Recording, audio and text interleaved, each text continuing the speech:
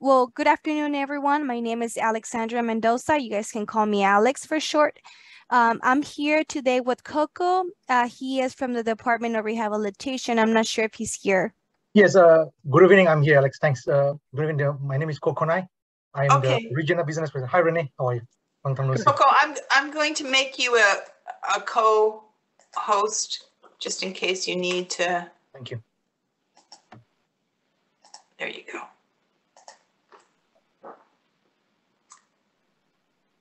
Perfect. Great. So, yes, great. Coco, um, do you want to go ahead and introduce the Department of Rehabilitation and then from there move to um, Ready, Willing, Able? Sure. Yes. Uh, let me start. Okay. Uh, let me introduce myself first. Uh, my name is uh, Coco Nai. I am the regional business specialist. So my role as a regional business specialist, I work with uh, businesses uh, apprenticeship program uh, like IWIS. So recently, uh, Department of Rehab, uh, we awarded a grant, like a two-year contract to IWIS to assist individual with disabilities in a healthcare apprenticeship program opportunity.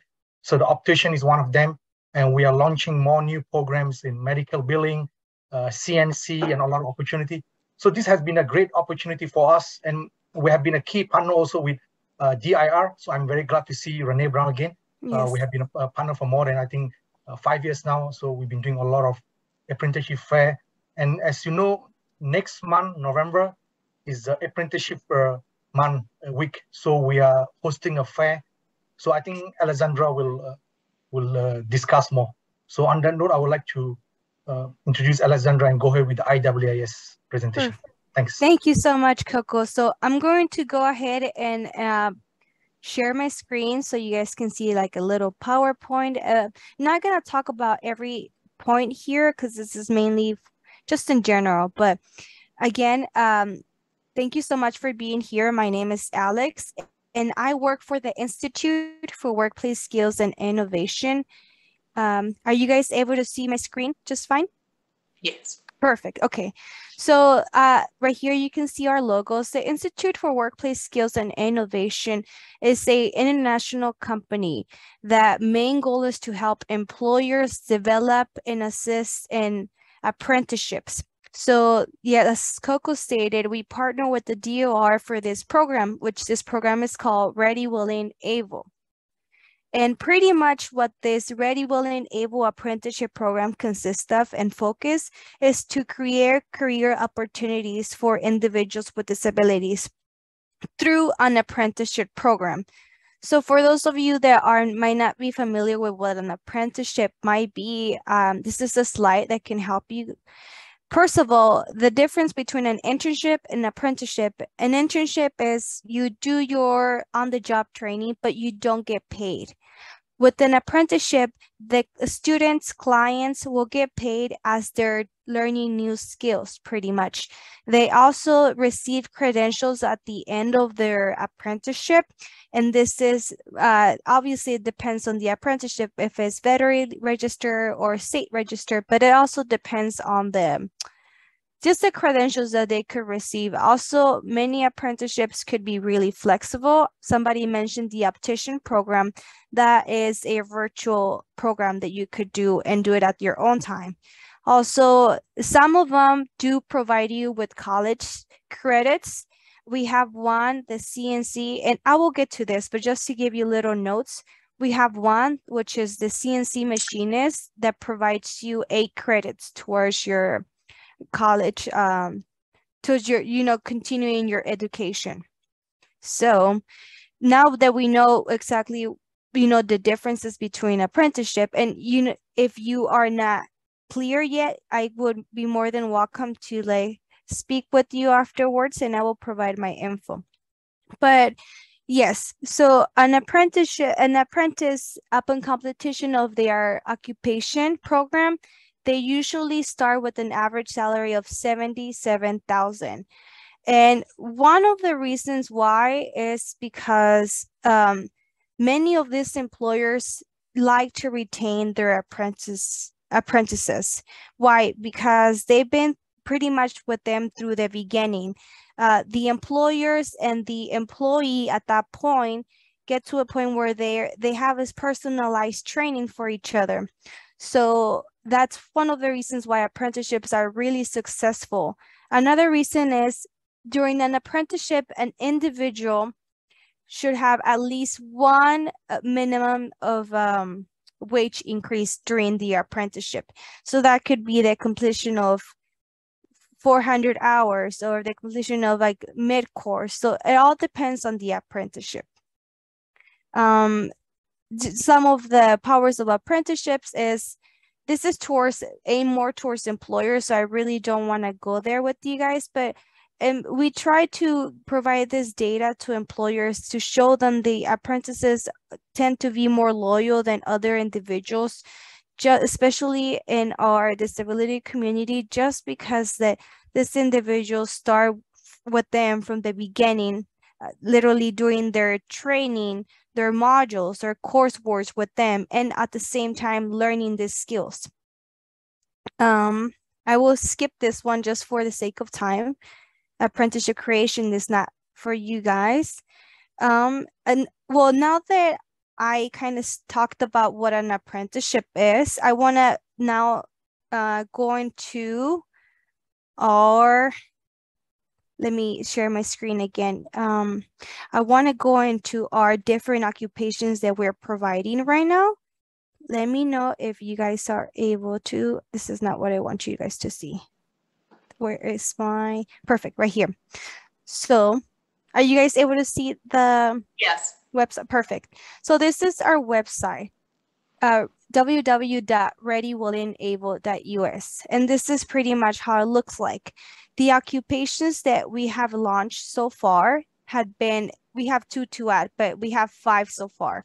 So let's take a look at the, somebody, for example, the spectacle one. For the spectacle one, we partner with California Association of Opticians. And each flyer will will download onto your computer for you to print, for you to look in your computer. So this is another way of you um, also me teaching you how to navigate our website for easier access in case you don't get all this information. But I go to occupations and then I clicked on the spectacle lens dispensary downloaded uh, the PDF and it automatically opens. So pretty much provides you more in-depth information about the optician, but um, to give you an overall, it is a online course. So you start your 144 hours of the virtual modules. You do your training self-paced. This one is really flexible. And once you complete that module coursework online, then you move on to the on-the-job training. Uh, the way that uh, Ruby, which is executive director for this program, she pairs the employers with the clients uh, or at this point candidates location. So we work with employers for these programs like, such as American Lens, Target, LensCrafters, um, Warby Parker. So many of these employers um, pretty much reach out to the California Association of Opticians, and then that's when they do their recruitment. Is there any questions for this program so far? That was actually my program, Alexandria. This is Nicole Picado with DAS. Mm -hmm. I was a consultant for that program. Um, I really I changed over to civil service and teacher apprenticeship. So I'm no longer the sector lead on that. So yes. Oh, that's oh, I would like to connect with you. I I'm I would love to connect. But yes, we have pretty much we partner with Ruby and then uh, where we developed this apprenticeship for the Ready Willing Able. So um I'm going to move on to the other uh, occupations so that way we have more um, steady pace and if you guys have any questions I could answer I can go back and forth at the end of the meeting. So the next one would be that we have here would be the dental assistant. For this one, we partner with West Los Angeles College. Um, maybe many of you guys might be familiar with Tiffany. She is the dean there. And for this occupation specifically, it has to be a full-time availability. Also, transportation is required just because the uh, training facility is in Culver City. So this will be perfect for individuals that are closer to that area. Um, Other than that, it is like a regular classroom setting. She does the, uh, I believe it's more than 144 hours here. I, I need to get that uh, that information, but please send me an email if anything. They complete their coursework in person for this one. They do some um, activities in the training setting, and then after a certain amount of hours, they'll move on with on the on the job training. And keep in mind that on the job training is when the individuals start getting paid while they're training. Um, also, I, I want to mention that for to apply for any of these occupations that I'm talking about today, all you have to do is send the resume to this email right here, recruitment at readywillingable.us, and uh, specify for which occupation you're applying for. Uh, the cohort for this one will be open in January. So we're receiving we're receiving applications right now. If you are interested or someone that you know might be interested, we are open. We still have open slots for this one. For the spectacle, I will forgot to mention, we do have the open cohort. However, it will start in January, but we're still receiving um, applications for this one. But for this one, for example, since it's online, if you send me the resume or, you know, um, somebody applies, we just reach out to them. The executive director reaches out to the individual, sets up a Zoom meeting with them, and they see if they want to start their, their coursework right now. Because that, that would mean that once the cohort starts in January, they can just jump into the on-the-job training. But that's only for the optician. Okay, and then now let's go to this third one here that we have on the website, the CNC machine operator. Uh, this one is believed to, you know, be more beneficial to individuals with high functioning autism. They we per we partner with the Uniquely Able Academy, and they've been providing this program specifically to individuals with disabilities such a, as autism, specifically to them they cater this program, this training program for them. So that's why it's so specific. But the the way that it works is also a full-time and, in-person and the training location is college of the canyons which is the city of uh, santa clarita so i know that one's far and you know maybe out of reach but um, we are hoping to bring this program specifically into more Orange County and LA County. And then the way that this one works is 300 hours of in-class instruction and the on-the-job training is 60 hours. Again, the on-the-job training is once with the individuals so start partnering with the employers or they go on interviews with the employers. Once they find the match, then they'll start getting paid. And literally what that means is that they're under their payroll. Sorry about them. And we have, we just launched the medical biller encoder. Uh, this one we partner with Healthcare Career College and it's more closer towards LA County, Orange County. Uh, this one is located in the city of Paramount and it also is an in-person program full-time. Um, for this one, since we we just started, we just opened the cohort, so we're receiving applications right now. And the same way, the same uh, process. You send me their resume to recruitment at readywillingable.us. So this is a 10 month formal technical instruction stage of the apprenticeship pretty much. So this is more of a classroom setting as well. And we have actually, I will show you guys um, at the end how many occupations available we have right now, how many uh, vacancies for each apprenticeship occupation.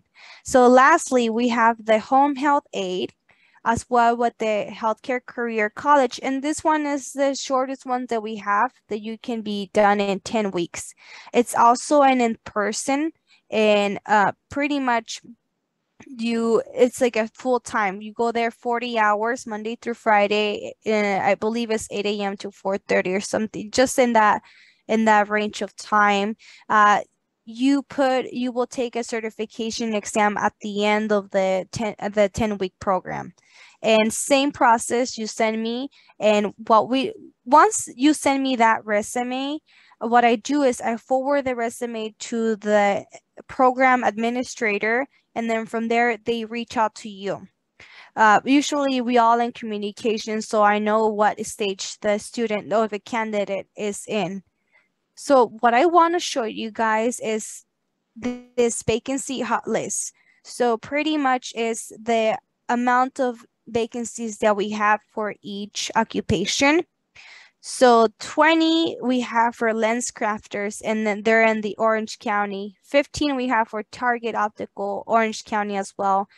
More 10 more for American's Best, Orange County, Sam's Club, Orange County, um, the home health aide that I just spoke, we have one in Norwalk and in per uh, Norwalk, I'm sorry.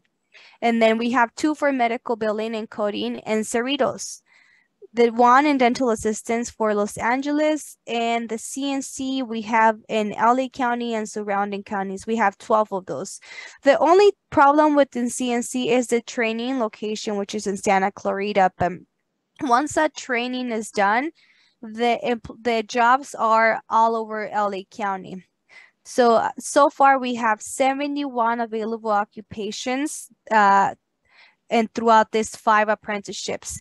And our goal is to bring more programs. That's why I'm so encouraged to tell employers, yes, you know, build an apprenticeship within your workforce. They're so rewarding. And, you know, it might be seem like a lot of work at the beginning, but they the you know, the amount of um, what's it called? Return of investment it's you you get is a lot great greater than what your usually recruitment would be like. Um, i want to mention that some of the occupations that we're working on launching right now is um, massage therapist for the visually impaired individuals. So that's one where we're working and we're hoping to bring also cyber secure medical cybersecurity um, contact us at my at the end of the day let me provide you with my information. But here is the website. I will also put this on the chat. Um let me see if i have who we are right here. Uh this is our ceo and our program um special programs manager. I want to provide you with my info but i don't think it's here. Um but I will I will give it to you guys on the chat. But is there any questions, concerns that I could add that I could answer for you guys? Let, uh, let me just start and anyone raise your hand if you have a question and I'll call on you. But uh, one question I have is, do you have to become a Department of Rehab client first or can you just immediately apply to? I am uh, so glad you brought that up. I am so glad. And I'm so, I apologize for not bringing, that's one of our biggest requirements to be registered with the Department of Rehabilitation. Yes, you must. Okay. Yeah. And that okay. would be, I think, the only requirement that we have for this program because we do allow second chance individuals as well. Yes. Okay. So, Coco, maybe you can uh, just yes, briefly uh, talk about how you um, enroll with the Department of Rehab. Okay, sure. Let me share my screen. I'm, I'm going to talk about my role, you know, how I work with uh, community partners and businesses and also um, IWIS. So let me share my screen. Give me one second. And, and while you're doing that, I, I guess um, one question I might have for probably Coco is, um, have you, cons will DOR help fund transportation? So if somebody really wanted to uh, go to the um, computer um, numerically controlled um, yes program, can you help them get deal with a train or, or, or other ways, or maybe have a van pull for a group from Orange County? Yes, we can do that. We, in fact, we provide a monthly transportation check, gas check, or like a bus pass with the local county, uh, depending where they live at. So we did provide like monthly transportation stipend. So it's uh, like certainly we, we can Hold on a second, I'm sorry. Robin's got it. Thank you, We're Robin. Yeah, I'm trying to share my screen one second. Um, And something I do want to mention that um while Coco's thinking is that we also uh, they also provide like um clothing if they need Yes, clothing, clothing or too. Or any materials for their job or the occupation, such as boots for the CNC, for example, or an iPad for the um, optical apprenticeship. Okay, for some reason I'm. Coco, are you, you're a co-host. You should be able to share. Oh yeah, but I'm looking for my slides. That's why. Sorry about that. Oh, that I can't Okay, solve. Let me see. Let me let me do one thing. Give me one second. Save this here. Okay, well, while you're working on that, um, any other questions for Alexandra? In regards of the occupations.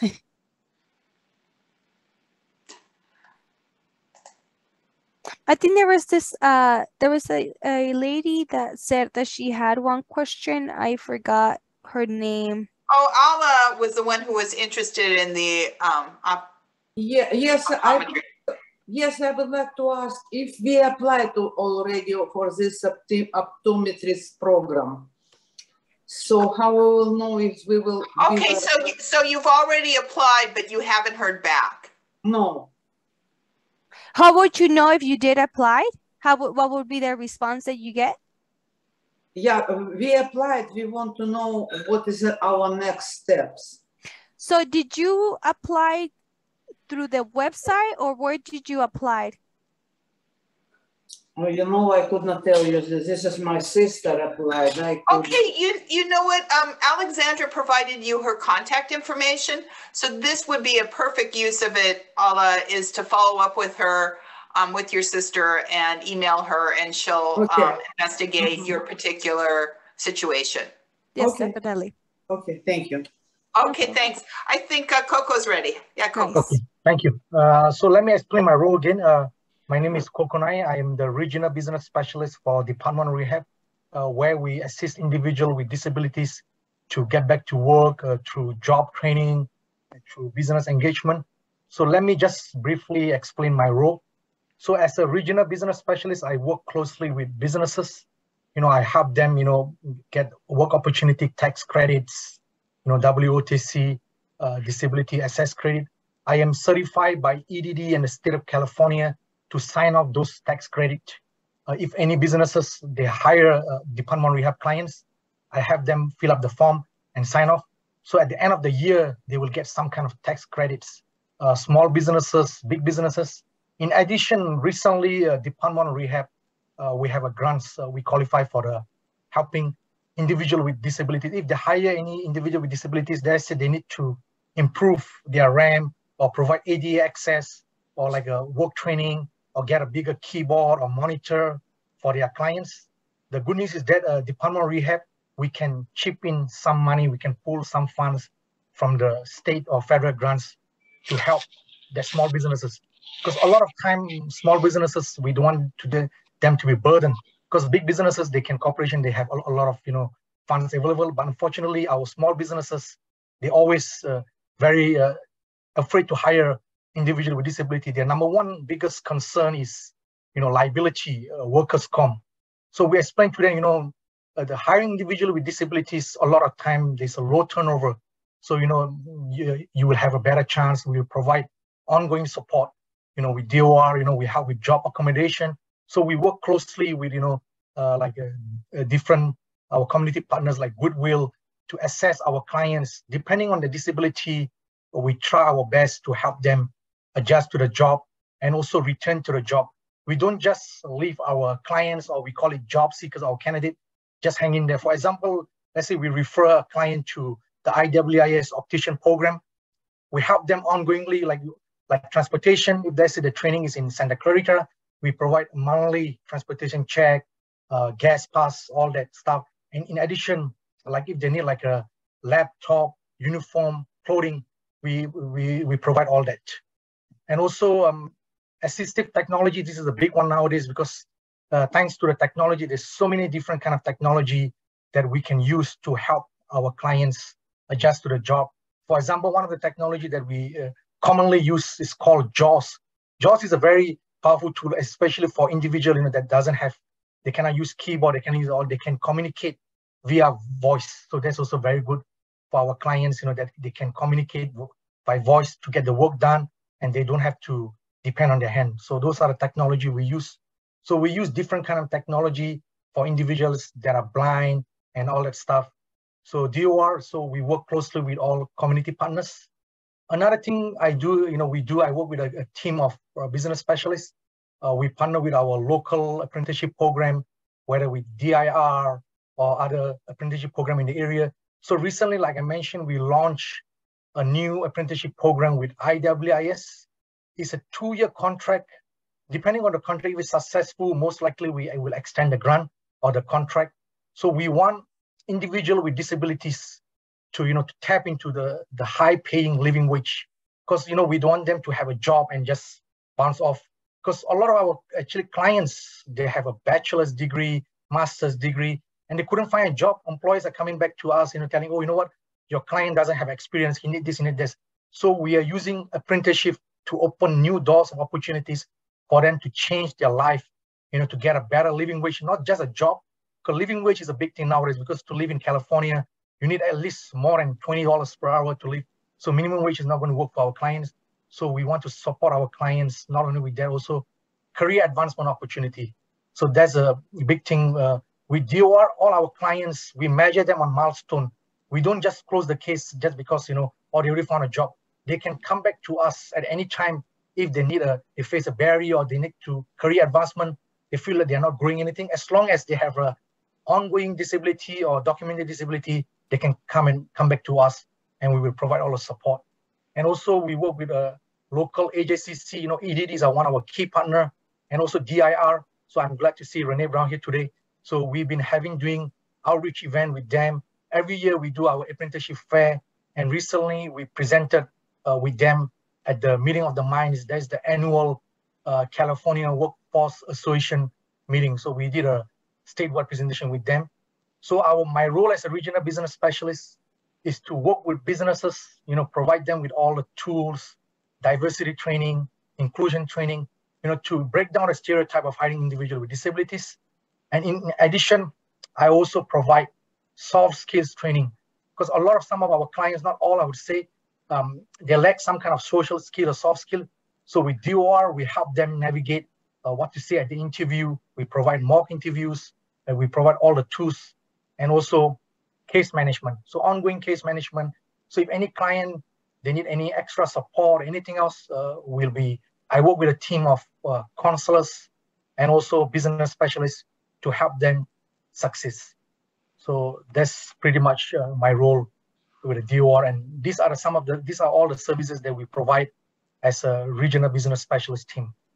Okay, and then um, how should they, what's the process for app applying? That's Should- a good question. Where are, can they apply to, and there are basically two major, or I guess three offices in Orange County. One's in Laguna Mhm. um, Hills, that's part of the San Diego group, and then the other one is in Anaheim and Orange. Orange. Yeah, so does it matter which one they apply to? And Uh, doesn't matter, back- but I am actually based in Orange San Gabriel district.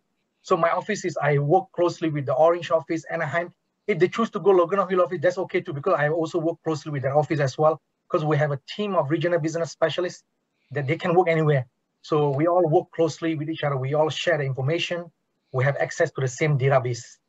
Uh, but to apply for DOR service, uh, Department of Rehab, we have already, you know, make easier for clients because I know a lot of individuals with disabilities, they already face so much, you know, like difficulties in life, you know, getting a job, retaining a job. So we, we make it more easier if uh, through the expedited enrollment program, as long as they have some kind of documented disability, we can verify, we will open the case right away.